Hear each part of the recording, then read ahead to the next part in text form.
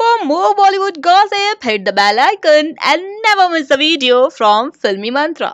जैसा कि जैसा कि लोग आपके फॉलोअर्स आपको सलमान खान अपकमिंग फ्यूचर का सलमान खान मानते हैं आपके फेस को देख के आपकी फ़ोटो कैरी की जाती है दूसरे के साथ में। तो आप कितना इस बातों को इन बातों को फॉलो करते हैं? आप कितना सलमान खान को फॉलो करते हैं? देखिए मैं शुरू से उनका फ़ैन रहा हूँ और मुझे मतलब मेरा सपना था कि मैं उनसे मिल पाऊँ और इस शो में आ पाऊँ। तो वो दोनों इक्वली मतलब एक साथ पूरे हो गए मेरे सपने कि uh, मैं इस शो में भी आया और मैं उनसे भी मिला।